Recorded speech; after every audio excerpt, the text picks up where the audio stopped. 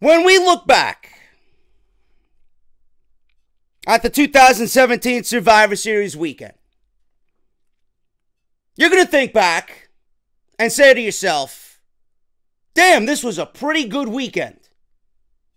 With NXT TakeOver War Games being so fantastic on Saturday night, with Survivor Series itself actually feeling like a major pay per view once again, this was a very, very good weekend for fans of WWE Wrestling. When you look back at the 2017 Survivor Series weekend, you're going to ask yourself is AJ Styles really that damn good? You better fucking believe it. When you look back at the 2017 Survivor Series weekend, you're going to ask yourself, why is Triple H so giving when he's in NXT?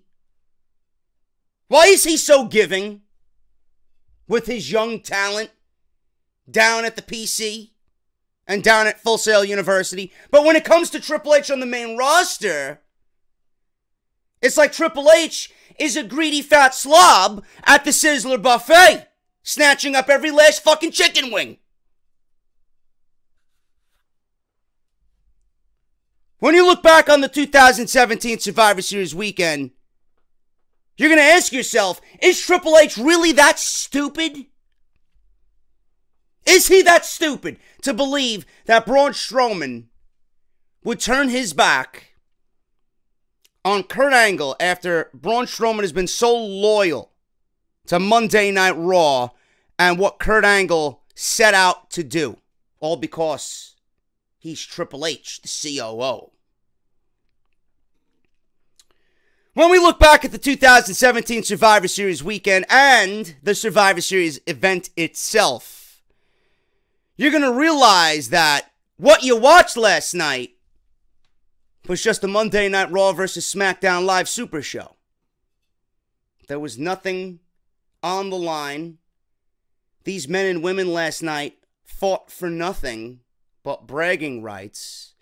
And when you think back to the 2017 Survivor Series weekend, you're going to ask yourself, do I even care anymore? Do I care if this happens again next year? Why am I going to care? Why are these people fighting one another? If there's nothing on the line, what are they fighting for? That was the question I asked myself the entirety of this pay per view. I'm not going to sit here and tell you it was a bad show. I would be lying to myself. Did I enjoy myself through the majority of that show? Yes, I did. Yes, I did. But a show like this, would mean so much more to everybody if there was something that we could sink our teeth into. This mean that this show would mean so much more to everybody if you knew that what these people were fighting for was a setup for something else bigger down the line. If this is the current direction WWE wants to go, Survivor Series needs to be treated like a major deal. If this is the direction that WWE wants to go with this Raw vs. SmackDown nonsense, then changes need to be made where it needs to be more important. Survivor Series needs to feel more important. I don't want to watch just great wrestling. Behind every great wrestling match, there's a storyline. There's something there. There's something there to sink your teeth into, and there's a reason for you to care. If you're going to put Charlotte and Alexa Bliss in the same ring and have it mean nothing after someone's hand is raised, it's not something I really am interested in seeing. If you're going to have a 48 year old Triple H have his hand raised in 2017 at a major pay per view for WWE, there better be a fucking reason behind it. Not because it's Triple H. If you're going to put the Shield in the New Day in a great opening match for Survivor Series, it better mean something. I felt after every one of these matches, except for one, I felt after every one of these matches. What did I watch? Why did I watch? For what did these men and women fight for? That's your Survivor Series 2017. That's the one thing I took away from this Survivor Series. WWE made the appropriate changes, the necessary changes for this show. They drastically changed the whole card. And at the end of the night, looking at this stacked Survivor Series card, which looked like it was the best card that WWE presented us all year for pay per view. I looked at this, and at the end of the night, I still, still felt underwhelmed. That can't be anymore, man. That cannot be anymore. Changes need to be made if Survivor Series is going to be a big four pay per view. We have the Royal Rumble. The Royal Rumble gets us to WrestleMania. WrestleMania leads us into SummerSlam. There should be a bridge in between WrestleMania and SummerSlam that gets us to New York City, that gets us to the Barclays Center every year. SummerSlam should get us to Survivor Series. Everything that happens coming out of SummerSlam should build towards Survivor Series. If you don't want to do the whole Raw vs. SmackDown thing all year, at least have it start coming out of SummerSlam. Start teasing it here and there. Survivor Series leads to nothing. Survivor Series leads to nothing. It's just a Raw vs. SmackDown super show for bragging rights. When we all know the bragging rights mean nothing. The bragging rights will mean something Sunday night in this fictional world that Stephanie McMahon is in. I gotta crush Shane McMahon. They'll mean something on Monday Night Raw. Then the next week, as we start getting into December, it'll mean nothing anymore. It won't mean a damn thing to anybody. WWE will go about business just like they usually do on a Monday and Tuesday night. And Survivor Series and everything that happened and the competition, the bragging rights, it's like it would have never happened. But if you want to make Survivor Series an important pay per view, if you want it to mean something at the end of the fucking year, you got to have it be a bridge between those months where nothing is going to happen. Survivor Series should lead us into the Royal Rumble. Something should happen. Whether the winning team gets home field advantage at WrestleMania, whether the winning team has odds on favorites stacked with them going into the Royal Rumble. You know, something, something that these guys can fight for. Other than that, why are they even there? Why are they even there? Why am I even watching? It means nothing at the end of the night. But all in all, Survivor Series 2017 was a very enjoyable Survivor Series pay per view. Was it the best pay per view that WWE put on all year? I, I don't even know anymore, man. WWE pay per view this year has been underwhelming at best. I can't even think back to what was the best pay per view of the year.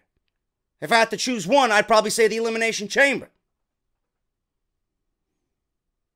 But WWE gave us a stacked card. They gave us a decent show at the end of the night. In no way was it a bad show? But this was an underwhelming show, to say the least. This was an underwhelming show that at the end of the night had no passion, it felt soulless, and it felt empty. After everything that WWE did, all the strides that they made to make this show stand out as important, at the end of this four hours, we felt empty. I don't know how you guys felt. I felt empty. I felt like I watched a really good wrestling show for four hours. And I felt no emotional attachment to anything there outside of one match. This is your Survivor Series 2017 review. I am, of course, the Kenny Omega of WWE reviews, news, and talk right here on YouTube.com. I am JD from New York. Thank you guys so much for watching me this morning. Life happens. Review wasn't up. I tried to get it up as early as I could, and here I am. Either way, you're going to wait because it's always quality on this side of the fence. 2017 official Survivor Series review and results for last night's show, November 19, 2017, from Houston, Texas.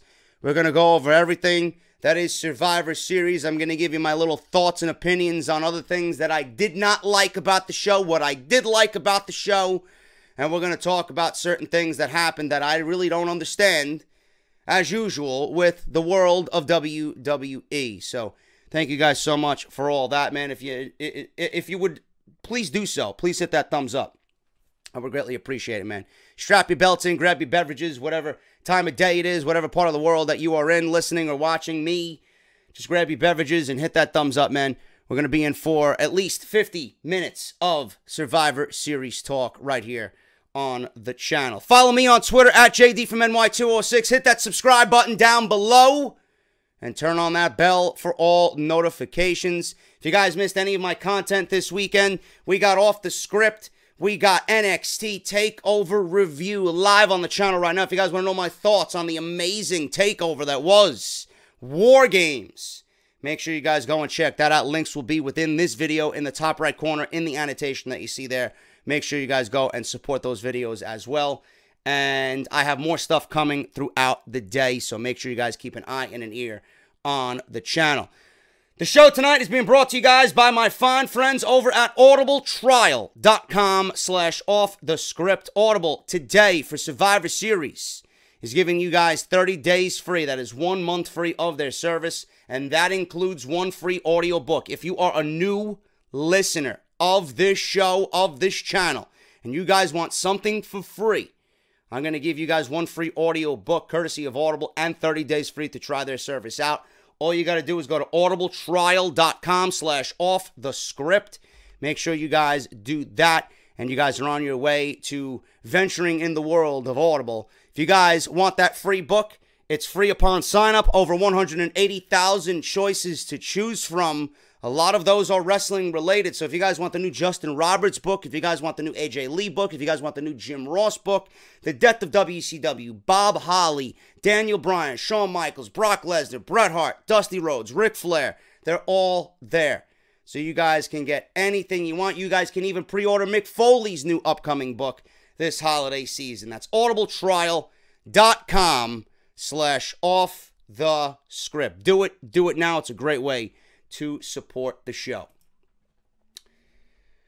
First of all, I want to go over the goddamn fucking tacky t shirts that each brand was wearing. Are you fucking kidding me?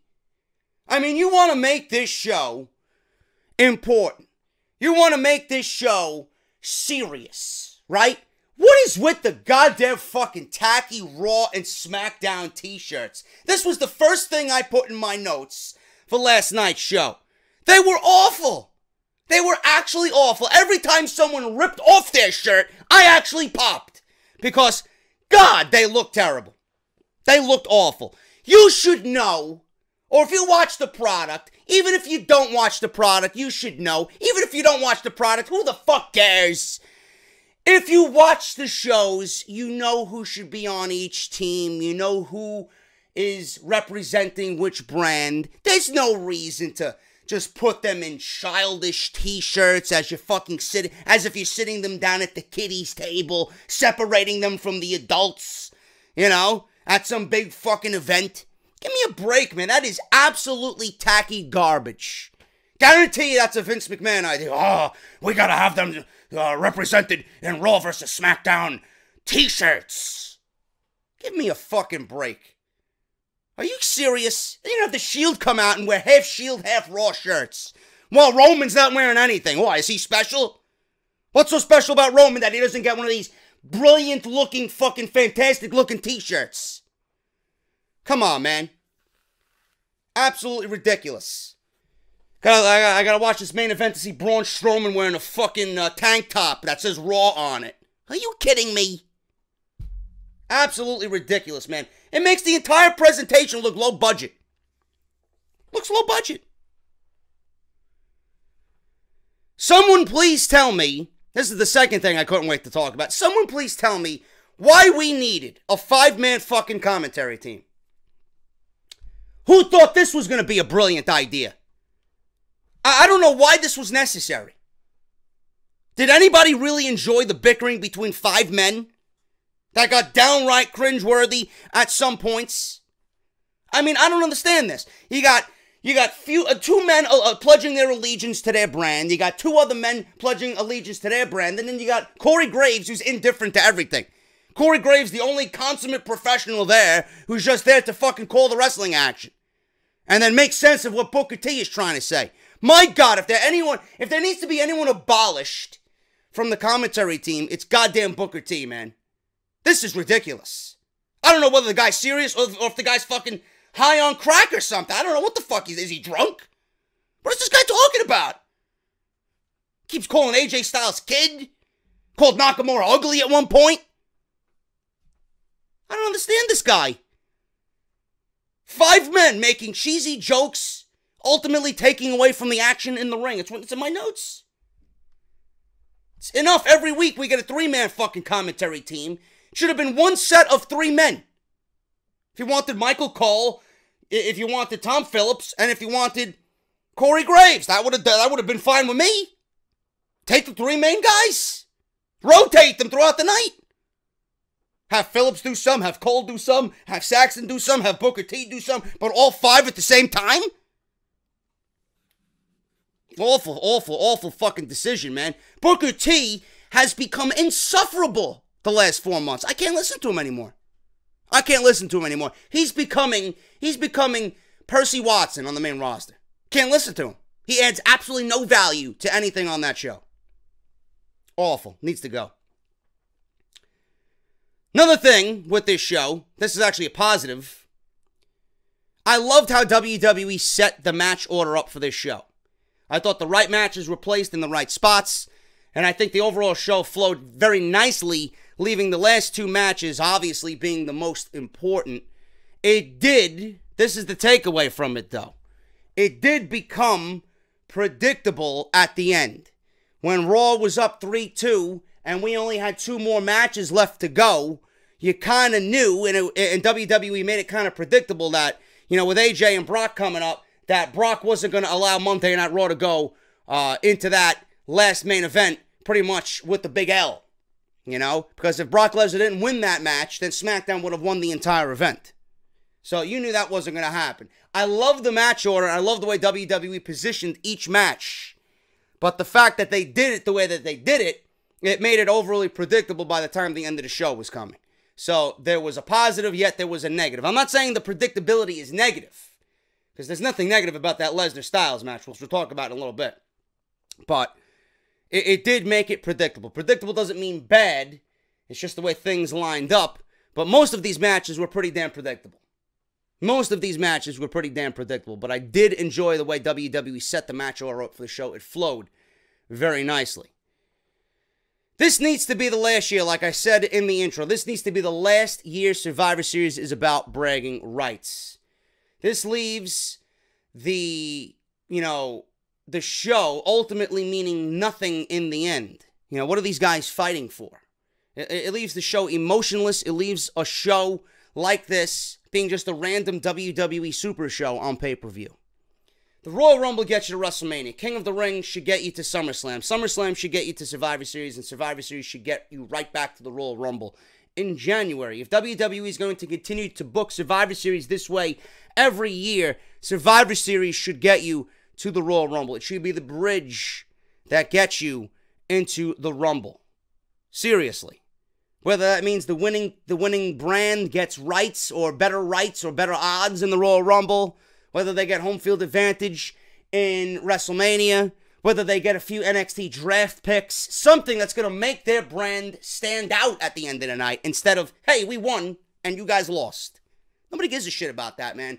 Have it play into the entire brand conflict that is Raw versus SmackDown. Give one brand an advantage. Give one brand something to fight for at the end of the night. Give one brand something to look forward to all year. If they're going into Survivor Series, they know this is going to be a major, major important day for their brand to make their brand better. Who gives a shit about bragging rights in some fictional world that WWE has created with conflict between Stephanie and Shane McMahon? Nobody cares. I want substance underneath that. We don't have that. My overall feelings on the show was going into the show, I was excited. There was no way if you're a wrestling fan looking at this card, that you were not going to be excited with a card this stacked. And I said this just the last couple of weeks. WWE made the necessary changes to get us to Survivor Series and give us a card. Whatever their reason was, I don't even give a shit at this point. Whether it was they felt NXT was going to outdo them, which they did anyway, whether they felt NXT was going to outdo them, whether they felt they owed it to the fans to give us a great show after TLC was decimated by injury and sickness. Whether WWE had bad ticket sales for Survivor Series and they wanted to spice it up and entice it, you know, for people to come out on a Sunday night. I don't know. I don't know. There was no way you were going to not be excited about this show. But this is WWE we're talking about. They never do anything right and go through with it, and you feel really damn good at the fucking end. In typical WWE fashion, you always find some way to complain about something. They always find some way to ruin something. They always find some way to leave you feeling underwhelmed. And I'm not speaking out of my ass here, people. I'm just telling you exactly how I felt watching this show. Don't interpret that as me saying this was a bad show. I'm just telling you that with the way the card was, I felt nothing at the end of this show. I felt underwhelmed. And I guarantee you, that some of you, most of you, are feeling that same way. They always find some way to continue to bury upcoming talent as well. It's another thing that I realized at the end of the night. No matter their age, no matter if you're a Nakamura who's 37, a Bobby Roode who's 40, no matter where you came from, these up and comers, right? Bobby Roode is an up and comer on the main roster because they just promoted him from NXT. Buried. Nakamura has been buried all year like a Balor, a Nakamura, a Roode, a Joe. All in light of pushing their top veterans that have seen their heyday already. Why is Triple H, I mentioned this, why is Triple H so good on NXT, but when it comes to the main roster, every time he's on television and in a major storyline, he has to end up being the most important part of the entire program? Did Triple H really need to close this show the way he did? Unreal, man. Unreal. And I'll talk about those little things when we get to the appropriate matches. But those are my feelings on Survivor Series 2017. The in ring action was very good last night. Ultimately, it meant nothing. Ultimately, it meant nothing. Show started off in the perfect way possible. The Shield versus the New Day. This was a great way to start the show. WWE could not give us the Shield reunion on pay per view at TLC. So they figure, you know what? We're going to start this thing off with a bang. We're going to give you the Shield reunion to start the Survivor Series. Three on three against the New Day. All six men felt each other out. Ambrose went against Kofi. Rollins went against Woods. And obviously Reigns went against Big E the Big E versus Reigns stuff was very fun, man. I could see if, if, and I know Big E mentioned a few times that come WrestleMania time, their Shield is going to be no more because they're going to disband. Jealousy is going to eat them from the inside. They're going to turn on one another again. He, he mentioned several times that the, the, that the New Day would never do that to one another. And if there's coincidentally one man who I think would be breaking away from the New Day and going on his own, it's Big E. So it's funny that he mentioned that and that the Shield was going to be uh, splitting away from one another to come WrestleMania time because they all want to go on their own their own path and do their own agenda. I find it funny that the one guy that uh, I see breaking away and having a big singles career from the New Day is Big E saying that stuff. So I could see Big E, if they do want to break Big E away from uh, the New Day, I could see Big E and Roman Reigns having some fun matches down the line, man. So the stuff that they did last night was very fun. Shield tried to throw some shade at the New Day, doing the unicorn the unicorn stampede in the corner on Xavier Woods. The New Day obviously seen that and returned the favor on Dean Ambrose just a few minutes later. Shit started to break down on uh, on uh, on everybody, and Biggie almost fucking killed himself as usual. One of these days he's gonna fucking cripple himself and paralyze himself. Almost killed himself and Dean Ambrose, where they spear off the apron through the ropes. Big E you know, I think every single time he tries to outdo himself, I don't think he touched any rope on this suicide dive. He just flew right through the ropes and he fucking cleared the top and middle rope doing that dive on Dean Ambrose. Like I said, one of these days he's going to end his career. Ambrose was beat up for a good portion of the match, being isolated in the New Day's corner. Ambrose fought off two top rope suplexes here from Woods and Big E. Then he made the hot tag to Rollins, buckle bomb to Woods, Blind tag and flying clothesline by Reigns was a nice spot there. He eventually nailed the Superman punch to a chorus of boos. Now, the Shield and the agenda of the Shield is to get Roman over, correct? That's what we know of this Shield reunion. But Roman was booed on this night. Roman was booed several times in this match. He nailed the Superman punch. He was booed. Roman sucks chance rang out through the arena. So uh, people still realize that, yeah, Roman may be in the Shield, but we still hate this guy. And it's only going to get worse as we get closer to the WrestleMania, people. Don't let this facade fool you. This is just uh, Roman and Friends reunion. This is Roman and Tea Time with Seth Rollins and Dean Ambrose. This ain't no fucking Shield reunion. Shield avoided the midnight hour. Rollins hits the V trigger, and Ambrose hits Dirty Deeds for a near fall, broken up by Xavier Woods. Very nice, chaotic spot there in this match. Ambrose and Reigns take out Big E and Kofi by throwing them into the barricade, leaving three on one against Xavier Woods. Everybody thought it was over.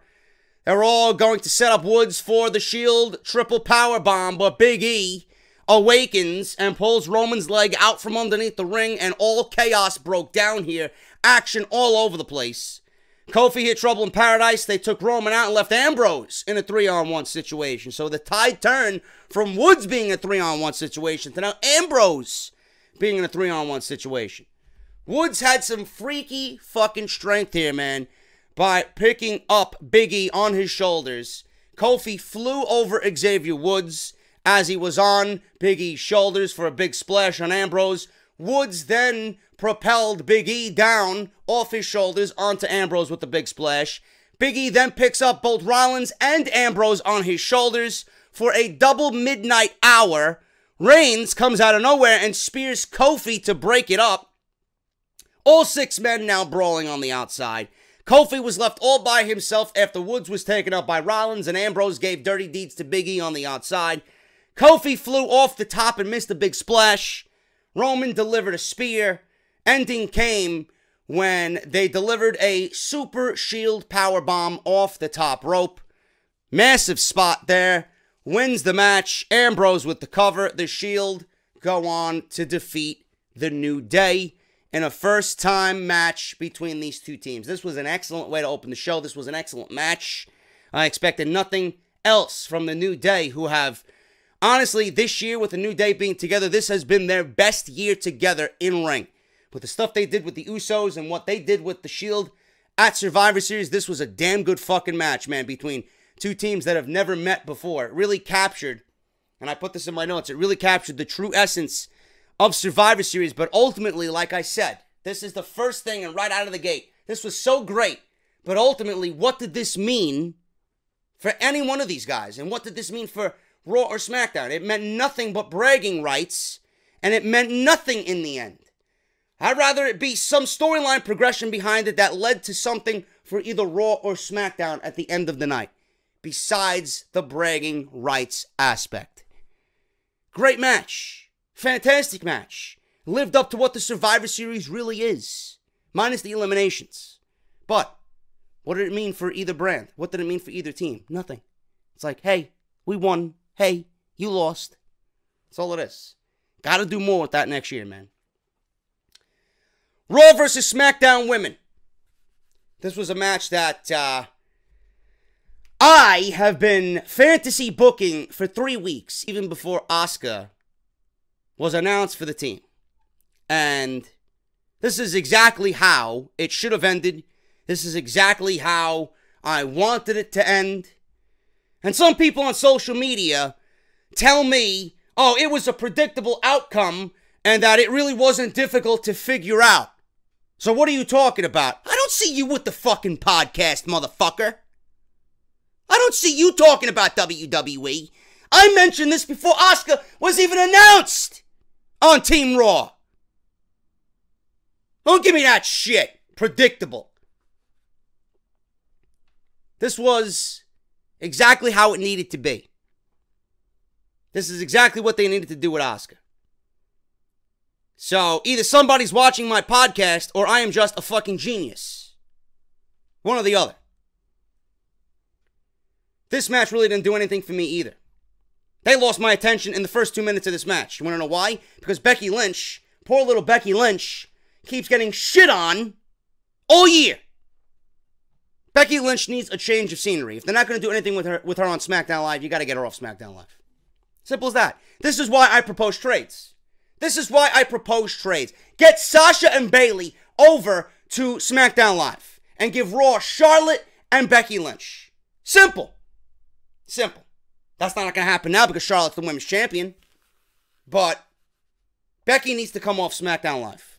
They eliminated Becky in two fucking minutes. Becky did not see anything in this match but two fucking minutes of action with Alicia Fox and Bayley. That's an awful way to go out. An absolutely awful make to go out. Bayley makes a blind tag, tags in from behind. It was Alexa and Bay. Uh, it was uh not Alexa. It was Alicia and Becky to start it off. And Bayley makes a blind tag. Disappointing and not a good use of Becky in this match at all. Bayley rolls up Becky from behind with a roll up. One, two, three, and that was it.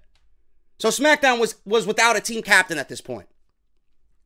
Asuka briefly tagged in, and you can see immediately, I seen it. I don't know if you goons seen it. You can see the intensity that she delivers compared to everyone else in that division.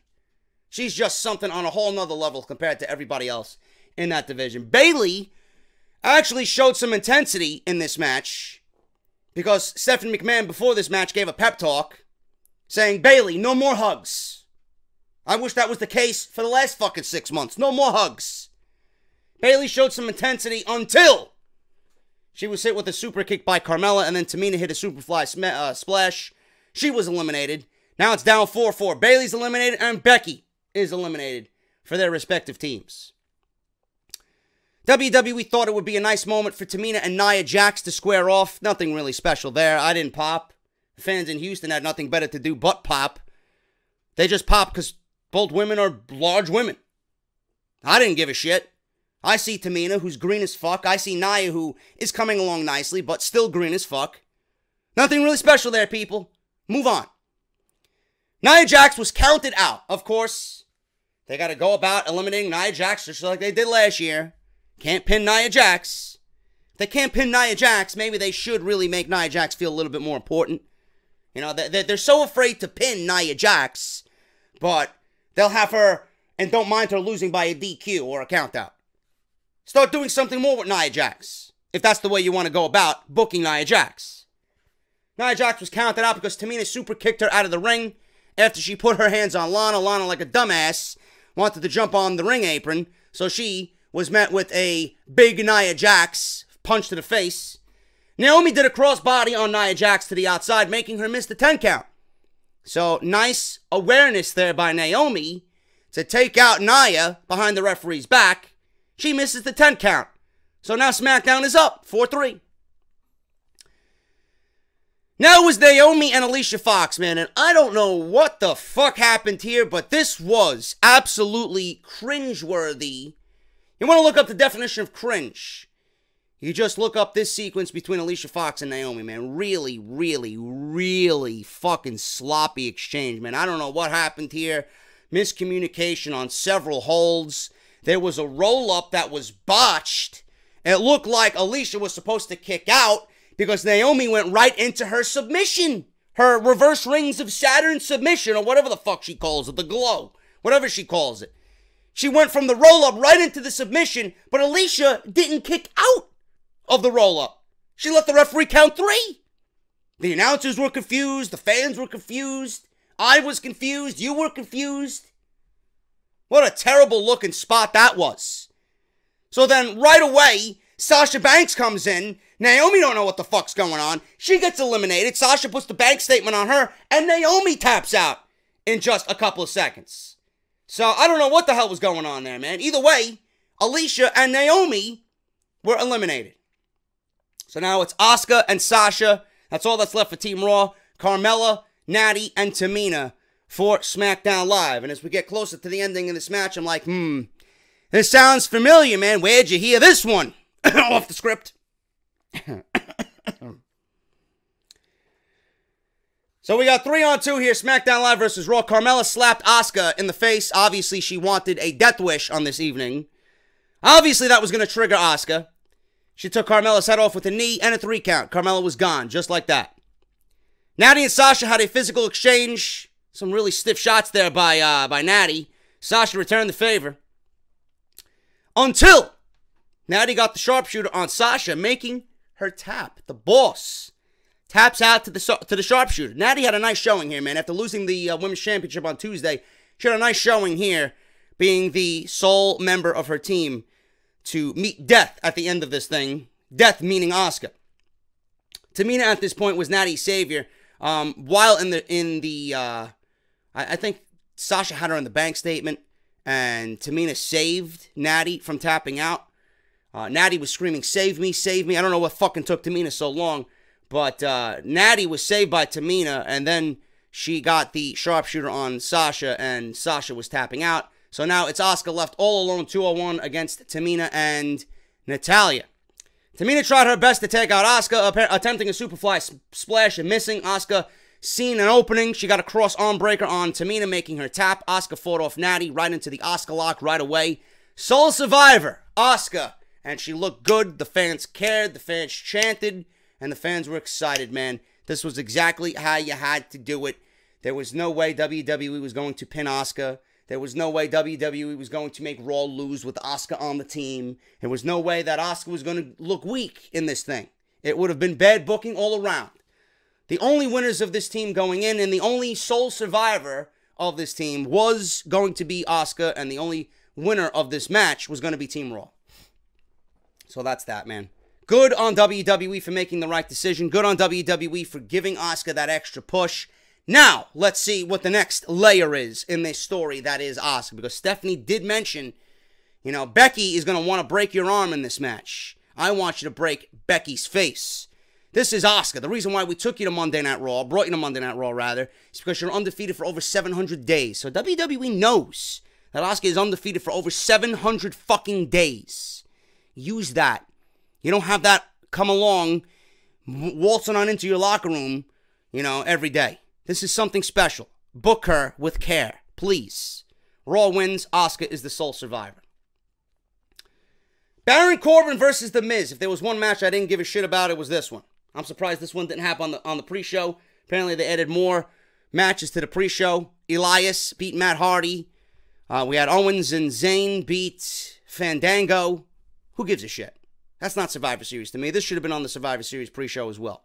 But I will tell you this. I will tell you this. Um, I expected a complete shit show for this match. I expected no chemistry between these two guys, between Miz and Corbin. But it, end, it actually ended up being a decent match. And then it ended up being a decent match that nobody's going to be talking about tomorrow morning. That's all it was. Decent match for, for, for both guys, but it ain't going to be anything that's going to be talked about at work tomorrow morning or at school tomorrow morning. Corbin wins with this one. Uh, you know, he wins here with the end of days, putting SmackDown finally on the board. Raw's winning 2 1. Uh, I love Baron Corbin's theme. You know, people were, were upset that he uh, asked for a new theme and they changed his theme. His theme and his entrance is a thing of beauty, man. If he can refine his in ring skill, and I put this in my notes, if he can refine his in ring skill, he could be the total package on SmackDown Live. Seriously. Baron Corbin is so promising for WWE if he just focuses on getting better in the ring, because he is still a little green. If you can focus on getting better in the ring, Baron Corbin could be a total package. I just don't care for The Miz as Intercontinental Champion anymore, man. I couldn't find a reason to care about this match at all. You know, U.S. Champion versus IC Champion. This should be a major match, but it doesn't feel like a major match because WWE hasn't really done anything with the U.S. title. They haven't done anything with Corbin. It's like they gave Corbin the U.S. title out of pity because he lost money in the bank. And The Miz hasn't done anything as Intercontinental Champion. All this talk that he wants to bring prestige back to the title, he hasn't done anything with the title. He was just being squashed by Braun Strowman on Monday Night Raw. How, how, how am I going to take this guy seriously as Intercontinental Champion? I can't. Maryse was pregnant at ringside. She was there. She couldn't be with the Miztourage, but she was there in the crowd. She kissed the Miz before the match. Corbin played a really good heel in this match. At one point, he verbally attacked Maryse on the outside. He told her, This is how a real man does, uh, does things. I LOL'd. That was funny. Uh, Miz was completely uh, all about cutting Corbin down, using Corbin's size. Obviously, was going to be an issue here. Uh, he knew Corbin was the bigger man, so he cut Corbin down in half. Tried to cut him down by isolating his legs and his knee. That was the storyline in this match, eventually setting him up for a figure four leg lock. The Miztourage really didn't factor in here. Dallas got a cheap shot in on Corbin, but Corbin pretty much contained them for the most part. The Miz needs to stop doing the yes kicks, man. They are absolutely fucking awful. There's absolutely no intensity behind their delivery. It's just awful. Awful stuff. The Miz in general, his offense looks weak as fuck. It looks weak overall, especially with a more physical Corbin in the ring. You know, you got a weak looking offensive move set by The Miz. Meanwhile, Baron Corbin's looking to fucking tear your head off. Like I said, I expected a complete shit show here. I mean, it was okay for what it was. I felt Baron Corbin needed the victory more so than The Miz. The Miz was embarrassed on Monday Night Raw, so I figured they'd just keep that gravy train rolling. End of days to The Miz out of nowhere. One, two, three. Baron Corbin wins, Put SmackDown Live on the board for Survivor Series. The Usos versus The Bar. Two of the best tag teams in all of the WWE. The Usos have never been better. Their heel shtick is leagues better than anything that is going on right now with any tag team in WWE. When the Usos speak, I listen. When the Usos wrestle, I watch. That's how good they've become with this heel run. Sheamus and Cesaro are doing the best work of their careers, too. Don't take anything away from the bar. Both Sheamus and Cesaro have done the best work of their careers. Pairing them together has been a godsend for both men. This is a rematch of sorts from last year's Survivor Series, as both teams were the last two teams involved in the Raw vs. SmackDown tag team elimination match. If you guys remember, uh, Shane McMahon put uh, all his teams against Mick Foley's teams last year. Uh, all the teams representing each brand were in just one big elimination match that ended up being the Usos versus the Bar. So this is a rematch of sorts from last year's Survivor Series. The only factor that I was upset with is that both teams are heel tag teams. Both heels are heel tag teams, but the body of work that is both the Bar and the Usos will definitely make up for that. And by the end of the match, you're probably not even going to give a shit who's heel or who's babyface. It doesn't even matter. Because what you're going to see in the ring is going to be that damn good, and you're not going to care about both teams being heel. Jimmy Uso was beaten up pretty badly by Sheamus and Cesaro, isolating him in their corner. Cesaro kicked Jay off the apron viciously as Jimmy went to go make a hot tag. He got to his corner and realized that his brother wasn't there. So, thanks to Cesaro, great tag team wrestling tonight on Survivor Series, man. They're just two fucking teams that know what they're doing in a tag team environment. Jimmy escaped by pulling out a whisper in the wind. He escaped the clutches of the uh, of the bar by pulling out a, a, Jeff Hardy whisper in the wind off the top rope. Finally tagged tagged in his brother Jay. Jay back body drops Cesaro during this match. Cesaro's feet hit the turnbuckle, and that propelled him to hit the fucking ground, the mat, head first and neck first, man. I don't know what it is with Cesaro. He's always taking some fucking devastating shot in some match that he's in. I mean, the guy just has uh, has a string of bad luck. First it was his teeth. Yesterday, that looked to fuck up his head, man. He looked a little out of it after that one, I gotta tell you that. That was a brutal looking spot. Jay climbs to the top turnbuckle, gets caught with an uppercut, then into a Cesaro swing and a sharpshooter. He gets to the bottom rope to break the sharpshooter. Jay Uso survives the bar's finishing move, which is a combination Celtic cross and springboard elbow by Cesaro. Jimmy breaks up that pinfall attempt. Cesaro then has Jay in a power bomb position. This is where things really broke down. Cesaro has Jay in a power bomb position as Sheamus is climbing the top rope. Now, Jay is trying to fight out by punching Cesaro, and he takes Sheamus off the top rope with a fall away slam off the top rope, and Cesaro power bombs them both down to the ground. Because he had to, pretty much, with the force of Sheamus coming off the top rope. Great looking spot. Jay went for the cover and barely got a three count. Crowd was going crazy at this point, like I knew that they would. The heel versus heel tag team dynamic went right out the window. Usos went on a super kick party. They channeled their inner young bucks here.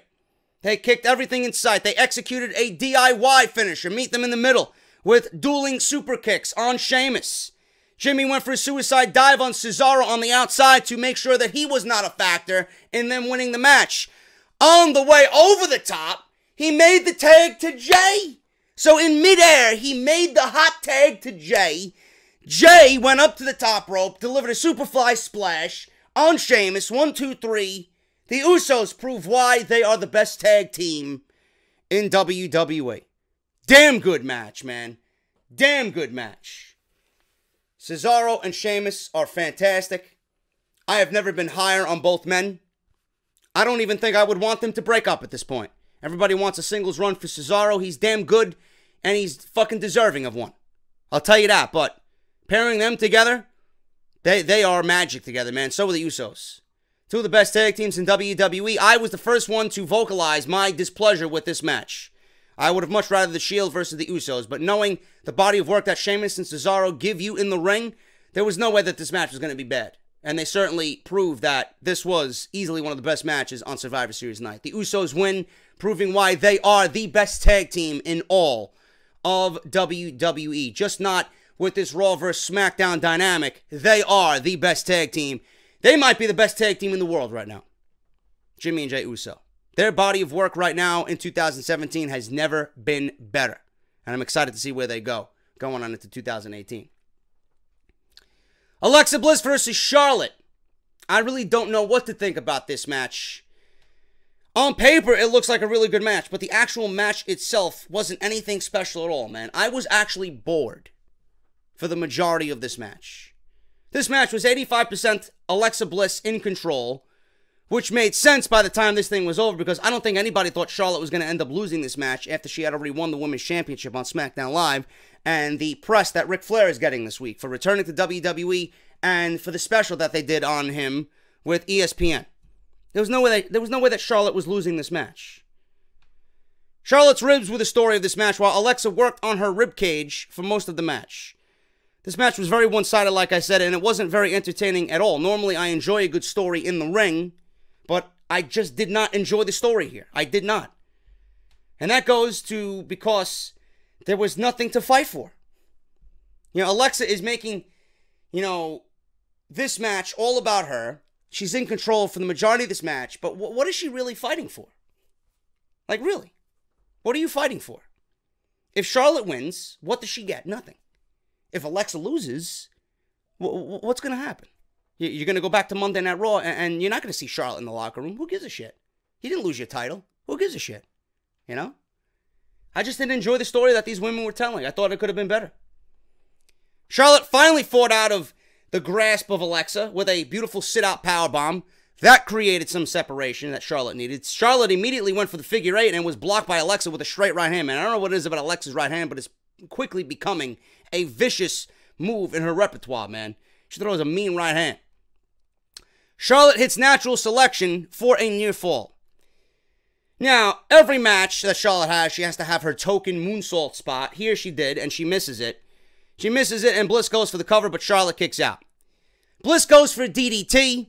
Charlotte kicks out. Bliss yells at Charlotte, Why won't you give up? I don't know why. Charlotte pulls out a spear from nowhere, eventually hits her big boot, and a figure eight for the win.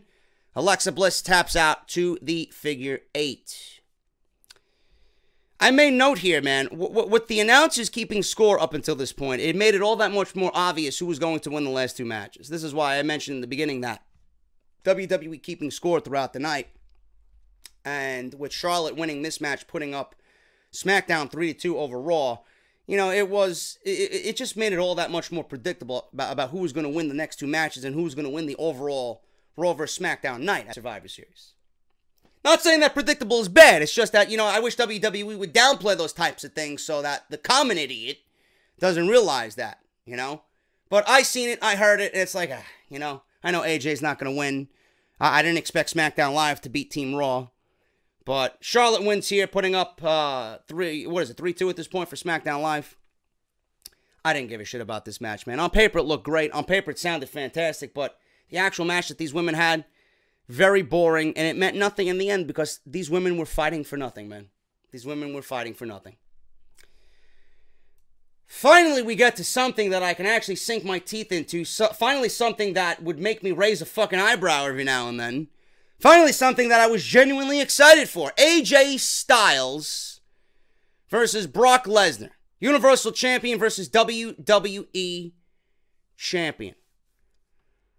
Brock Lesnar you know, we can all shit on Brock Lesnar. We can all shit on him for being a laxed champion, a lazy champion, someone who just merely wants to collect a paycheck. I'll get to AJ Styles in a minute, man, but for the first time all year, I'm going to sit here and tell you that I am very proud of Brock Lesnar. I'm very proud of what he did for AJ Styles last night. You know, the little things count.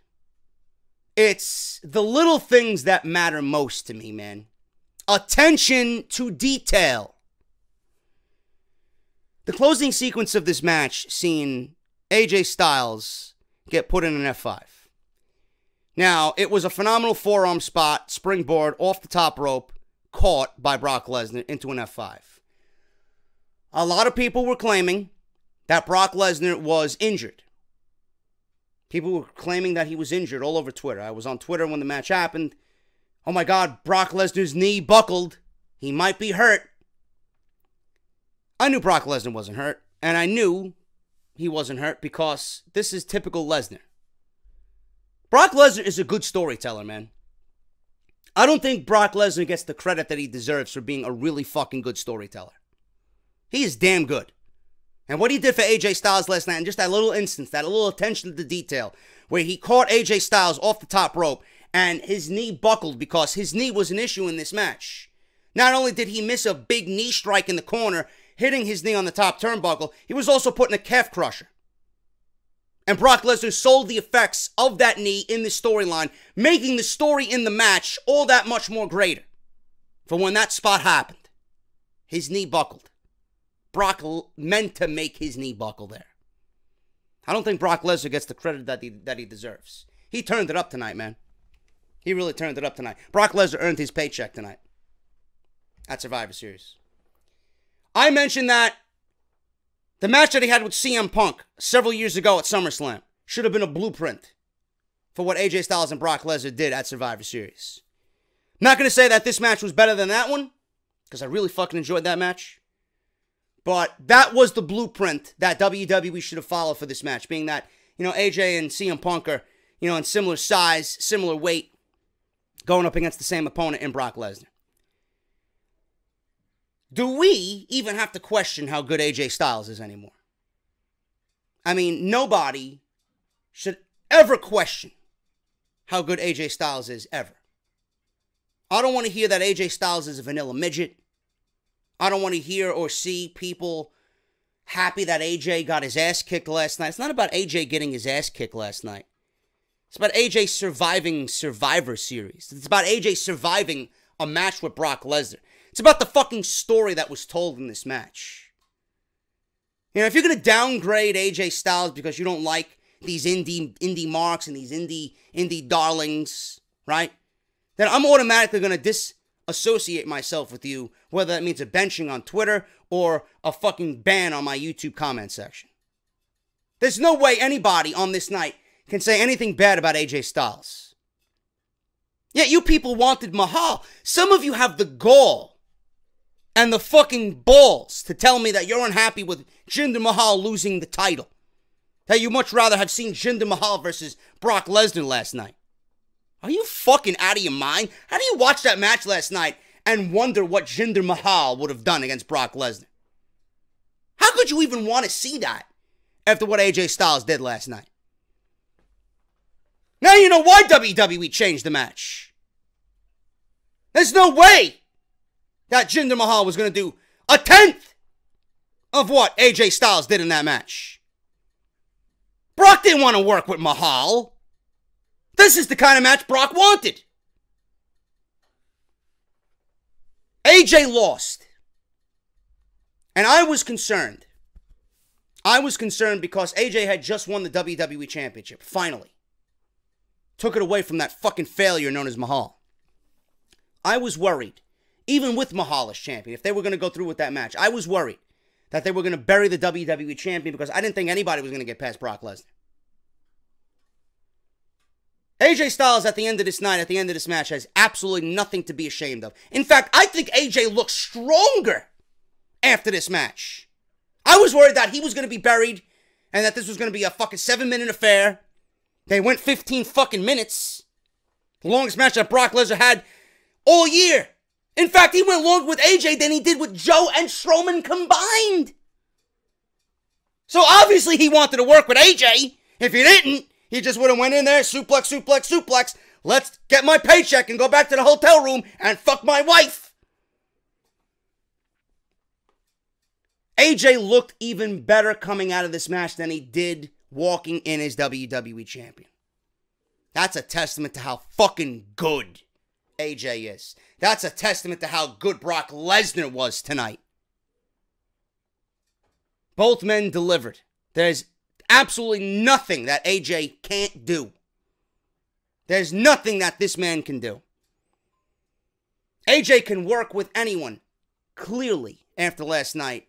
No matter the shape, no matter the size. AJ can work with anyone and make it look fucking great. It's a reason why he is the best wrestler in the fucking world. The man brought Brock Lesnar to the best Brock Lesnar match possibly in his career. In his career.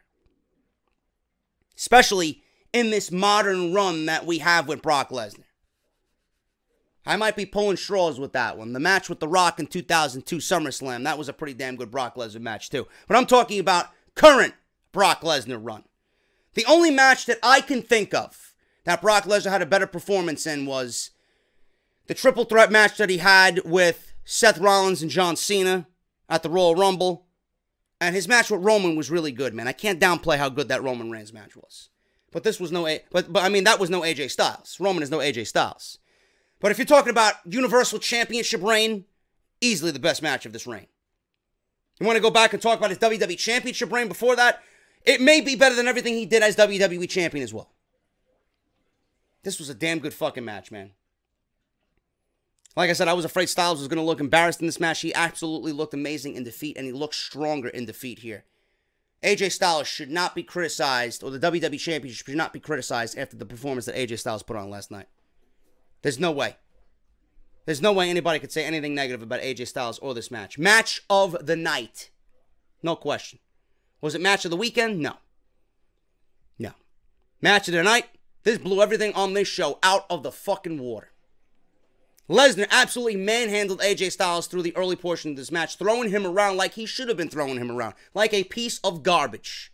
Styles was a much smaller man. Brock Lesnar's a fucking beast. You're going to throw your opponent around because you are the much larger man. Lesnar dragged Styles by his hair at one point in this match from one corner to the other and flung him over his head in a belly to back suplex, landing him in the opposite corner that he originally dragged him from. I LOL'd. Not because I want to see AJ Styles get fucking his ass kicked, but just the, the, the beating that Brock Lesnar was giving AJ Styles at this point. Styles sold Lesnar suplexes like a fucking consummate professional, man. He made them look even better than they already do. Lesnar was incredibly physical and legit in how he handled AJ Styles. At one point, they were on the outside. Lesnar threw AJ Styles into the German announce desk, and, I swear to God, you look at Brock Lesnar's face, he wanted to fucking throw him through the fucking table. I don't think Brock Lesnar would have been happy with what he did last night. He wanted to throw him through the table. He wanted to imprint AJ's body on that announce table. That's how hard he fucking threw him. Would have injured a normal man, but AJ ain't no normal man. Through the first four minutes of this match, you can honestly feel like this was going to be a complete squash. that this was heading for disaster. Lesnar set Styles up in the corner for a running knee. He connected. It's as if fucking uh, Styles' face went into the fifth row. That's how hard he hit him with a flying knee. Lesnar hit Styles with a flying fucking knee in the corner. AJ tried to fight Lesnar but blocked everything. Lesnar blocked everything that he had coming to him. So he, he he bats AJ down to the ground and then he starts he starts jumping around. He's like he starts doing one of these things. And then he says he starts yelling, "Come on and fight me!" I'm like, "Whoa." This was fucking physical, man. There's a reason why they're paying Brock Lesnar big money. If we got this Brock Lesnar throughout his entire run as Universal Champion, I would not complain half as half as what I did. But this was Lesnar. This is the Lesnar I wanted to see here. Lesnar went for an F5 and Styles escaped. He escaped the F5, ran to a corner. Lesnar chased him, went for another flying knee, missed. Styles hit him with a DDT. No covers yet in this match. No near falls yet.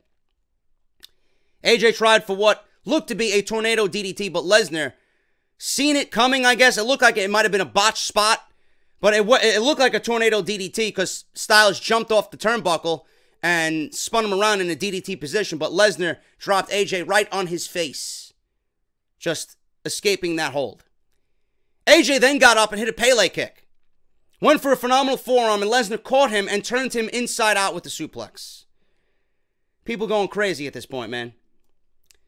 Will AJ ever get one of his big signature moves on Lesnar? That was the question. Lesnar tried for a clothesline.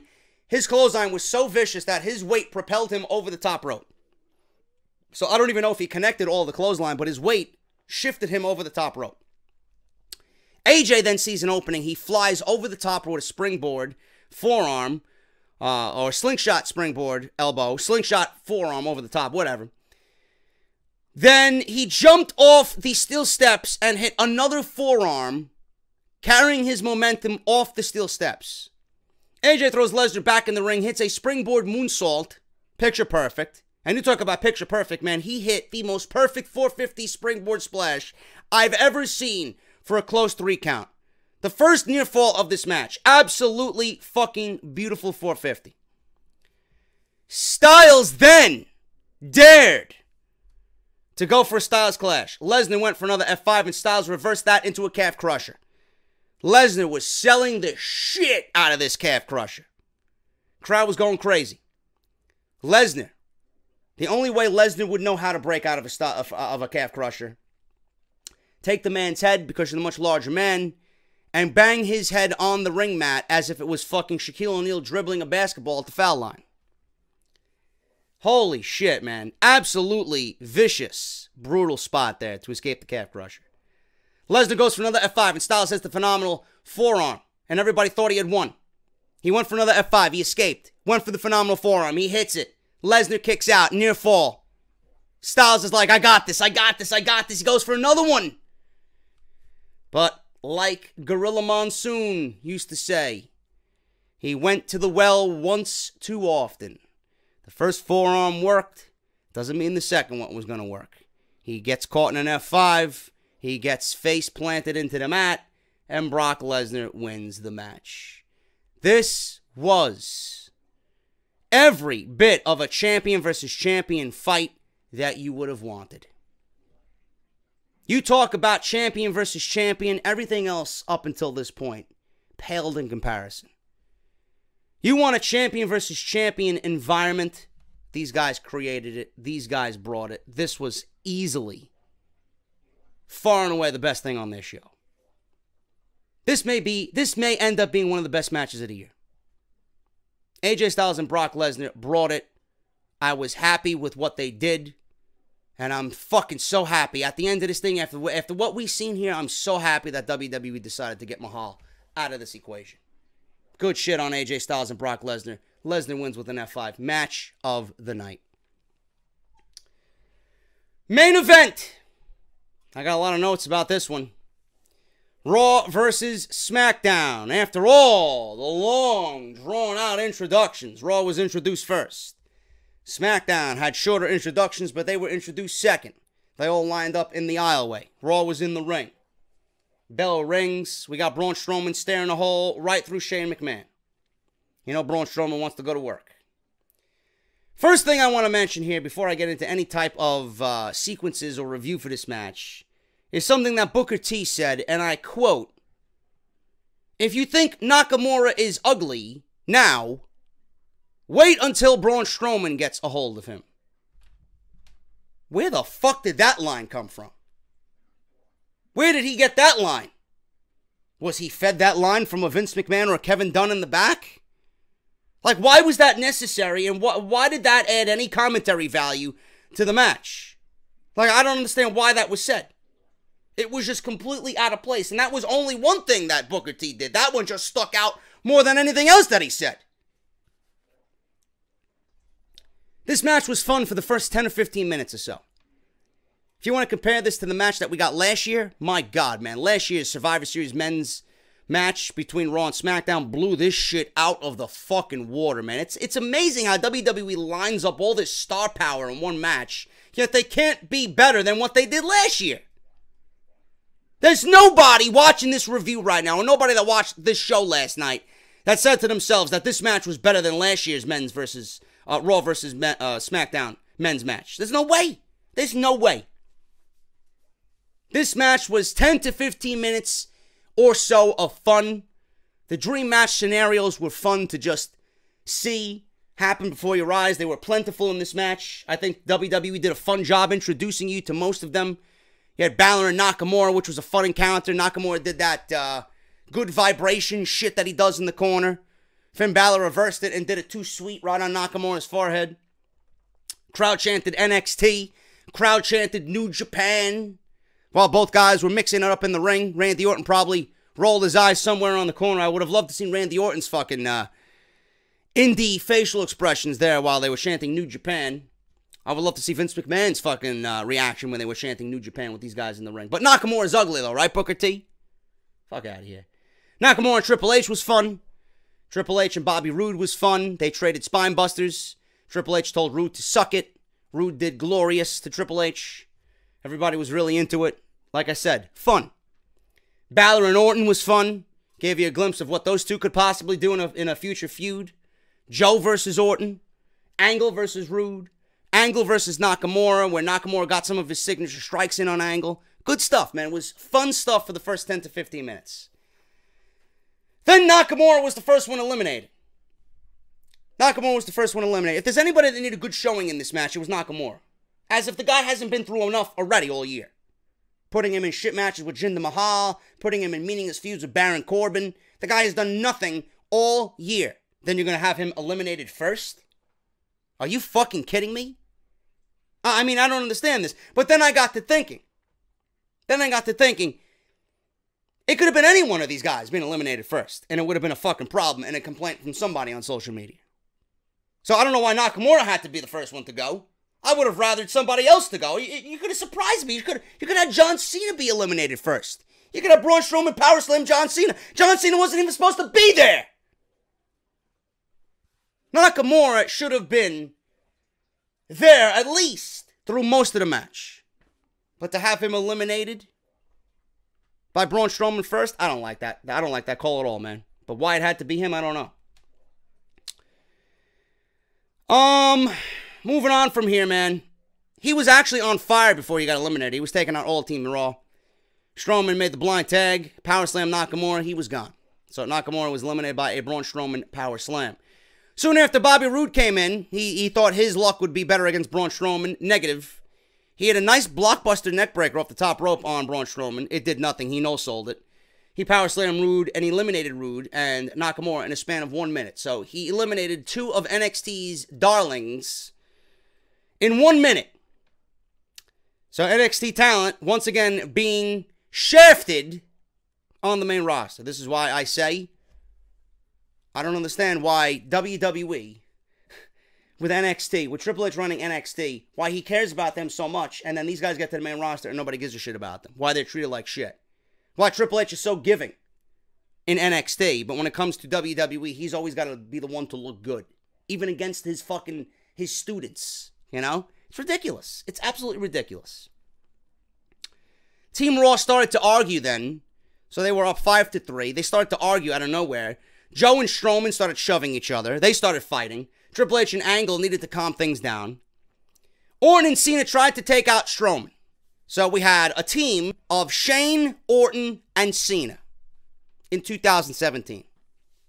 It's great stuff there, WWE. Really, really investing in the future there. Land of opportunity is SmackDown Live when you got Shane, Orton, and Cena on one team remaining. Yeah, sure. They tried to take out Strowman because that's they they, they figured that that's the only way to win this match. We got to take Strowman out. He already eliminated two of our guys. Let's take him out. Like I said, they tried. Strowman cleared off the German announce table. Cena and Orton tried to double suplex Strowman through the announce table. Wasn't working. So Bobby Roode and Shinsuke Nakamura, who was still around ringside, I guess, came over and made it a four-way suplex, and they pushed Strowman through the table, taking him out of the match. Shane McMahon then wanted to do an elbow drop through the remnants of the table on Strowman. Samoa Joe said, fuck you, I got other plans. He superplexed Shane McMahon off the top rope back into the ring. So he was taken out of the match. Joe and Cena now mix it up one on one. Balor caused Joe to get eliminated because he tagged himself in. He tagged himself in. Cena was on the ground. He tags himself in to do the coup de grace. Joe said, What the fuck are you doing? So Joe goes to the apron, says, Fuck this shit. As Finn Balor's up on the top rope, he blind tags himself back in. And all of a sudden, you see him eat two AAs from John Cena. So Finn Balor calls Joe to get eliminated. He eats two AAs from John Cena. Now it's 4 3, Raw, SmackDown here at this point. Raw 4, SmackDown 3. So Samoa Joe, another one, up from NXT, gone. So that makes Nakamura, Bobby Roode, and Samoa Joe gone. Eliminated from this match. Cena versus Angle. After Joe was eliminated, now we got some uh, typical Cena bullshit here against Angle. He did the five knuckle shuffle. Angle reversed it into the ankle lock. Cena reverses that, tried for an AA. Angle reverses that into an angle slam. Balor comes off the top rope for a coup de grace. Angle hits another angle slam, and Cena is gone. So Cena is gone, eliminated by Kurt Angle. Raw is up now 4 2. Raw is up 4 2. They still got Strowman, H, Balor, and Angle at this point. All that's left is Orton and McMahon. Orton versus Balor now. Balor runs to the outside and missile drop kicks Shane McMahon. My fucking God. He missile drop kicked Shane McMahon so hard that I think one of his sons caught his eyeballs front row. That's how hard Finn Balor drop kicked Shane McMahon. Balor went for his finisher on Orton, and I thought, I thought Orton was going to pop up and catch Orton, uh, and catch Balor rather, off the top rope in mid-flight doing a coup de grace. That's what I thought was going to happen. That would have been the right thing to do to send the the crowd home happy. But no, Finn Balor misses the coup de grace, lands on his feet, gets caught with an RKO anyway. Balor out of nowhere gets hit with an RKO. He's gone. Raw up 3 2. Balor is done. So Nakamura, Roode, Balor, and Joe all gone. Yeah, some opportunity from NXT up to the main roster, huh? Good shit, WWE. Shane was looking for a tag from Randy Orton, and out of nowhere, Sami Zayn and Kevin Owens appear and attack Shane. Now, this was the worst fucking calculated attack I think that WWE could have planned here. Shane no sold this entire attack, grabbed a steel chair, and fought both men off, chasing them up the ramp. And then he stood on the ramp with the steel chair so that they don't come back and interfere. Meanwhile, he left Orton in the ring all by himself. So Shane, thinking about Sami and, and Kevin Owens, leaving his partner in the ring to receive a running power slam from Braun Strowman he just sacrificed Randy Orton to Braun Strowman. Now Raw is up 31. Shane is all by himself. This is where the match completely lost me and everybody as fans. Up until this point, it was okay. Still comes nowhere close to what they did last year for Survivor Series Raw vs. SmackDown men's match. This quickly turned into the Triple H let's hog the spotlight at the Survivor Series Raw vs. SmackDown men's match and let me have my token Survivor Series moment, as if I don't have enough already. Strowman was about to end it, and Triple H tags himself in. Angle then tags himself in because he wants Shane McMahon. He promised Stephanie McMahon he's going to deliver Shane McMahon's head on a platter. So, Angle and Triple H start arguing. Angle and Shane go at it. Very nice exchange between the two. Angle eventually hit the angle slam and then put Shane in the ankle lock. Shane would not tap. Shane couldn't tap. He didn't want to be a failure for his, his brand. Triple H got so pissed that Shane wouldn't tap. He comes in and he pedigrees Angle in the ring. Nobody knew what the fuck was going on, man. Everybody at this point was confused. Is he aligning with Shane McMahon? Is he aligning with family? Is he betraying his wife? Is he joining SmackDown? I don't know. Nobody knew what was going on. Everybody was so confused at this point. Triple H put Shane McMahon to top it all off. Shane McMahon on top of Angle. He eliminated Angle. He pedigreed Angle, and then he put Shane McMahon on top of Angle to eliminate Angle. He wanted to eliminate Angle himself, which clearly is going to set up Angle versus Triple H at WrestleMania. That was that was it. That was the seed right there. That seed is going to grow, and it's going to be full blossomed in New Orleans. Strowman thought he was in a two on one situation at this point. Strowman thought that Triple H was actually aligning with Shane McMahon. He thought he was all by himself. He thought Triple H was now siding with SmackDown and that Braun Strowman was going to have to fight this match all on his own. Triple H then picks up Shane McMahon and pedigrees Shane McMahon to win the match. All because he wanted to end Shane himself. He felt like Angle couldn't do it, so he had to do it himself. Triple H sacrificed Angle to win Survivor Series for himself and Team Raw in 2017. Triple H could be so giving in NXT, but when it comes to the main roster, it's all about the man with, with three H's. Strowman didn't trust Triple H. He choked out Triple H and said if he double crosses him again, he will never play this game ever again. I don't understand why Triple H thought that Braun Strowman was going to be okay with this. Braun Strowman was loyal to Kurt Angle throughout this entire Survivor Series build and throughout this entire invasion. Braun Strowman was the first man that Kurt Angle picked for his Raw Survivor Series team. So there's got to be some loyalty and allegiance there. Why Triple H thought that Strowman was going to be okay with all of this? Braun Strowman, of all people, you thought was going to be okay with this? There's storyline logic there. Is Triple H really that fucking stupid? Is he really that stupid? How can this man be so brilliant in NXT, but then be so stupid on the main roster? It makes no sense to me, man.